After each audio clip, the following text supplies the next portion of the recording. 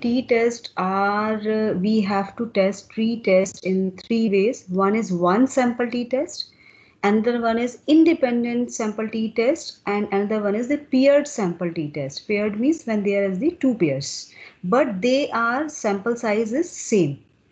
But independent t-test when we are comparing two pairs but both are independent to each other. That is why we are calling it independent sample t-test. So first we are going to start one sample t-test, right?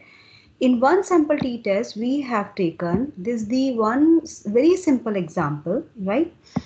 Uh, example is this, let's say what we are doing, a business school in its advertisement claims that the average salary of its graduates in a particular linear is at par with the average salaries offered at the top five business schools A sample of 30 graduates from the business school whose claim was to be verified was taken at random. Their salaries are given, right?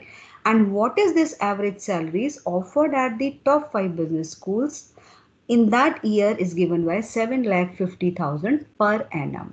हमने करना ये है इसमें this particular one particular management uh, institute they are claiming we are offering at par salaries जितनी top management top five schools offer कर रहे हैं। जो टॉप फाइव स्कूल्स ऑफ़र कर रहे हैं, हम जो सैलरी दे रहे हैं, वो एट पार है right top five business schools offer कर रहे हैं। और वो एवरेज सैलरी कितनी है? सेवन लैख फिफ्टी थाउज़ेंड तो हम